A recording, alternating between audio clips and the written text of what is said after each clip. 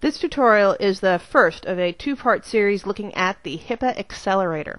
This first part, just answering the question, what does the accelerator do? What do I get with the accelerator? So, accelerator, number one, is purchased from Microsoft or downloaded from the MSDN subscriber site and installed separately onto your BizTalk servers. It has its own set of documentation, its own assemblies, and installs actually quite a few components with it.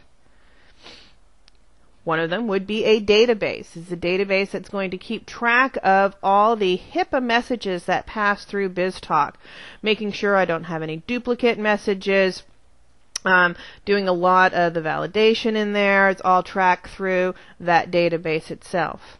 Security wise, I have a HIPAA subsystem users group. You want to make sure that your BizTalk host user account is added to that group.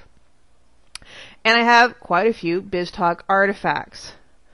Some very nice ones happen to be these schemas here, defining all my different types of HIPAA documents in flat file XSDs.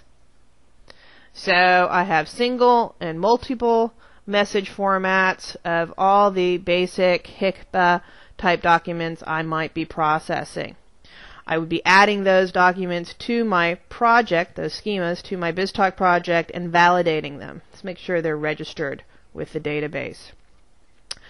Another component that I get is going to be a pipeline component. Actually, two pipeline components, one for receive and one for send. So I have HIPAA disassembler and HIPAA assembler.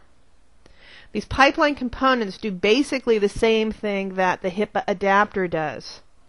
They validate the schemas. They um, will convert those schemas from XML to EDI or from EDI to XML as necessary.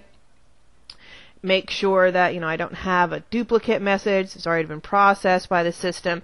Most the, again, as I said, the same basic stuff that the HIPAA adapter does. The adapter, however, has a few additional features that we can configure here, like, say, always requiring that functional acknowledgments, 997s, are sent back to the uh, one we have received the HIPAA documentation from. Or um, associating with particular partners. So in the address, I choose exactly who am I connecting to as part of that EDI address. These are party names that I've defined within the BizTalk system.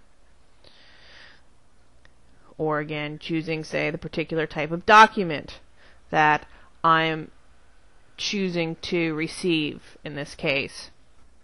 So we have all the components to develop our HIPAA solutions.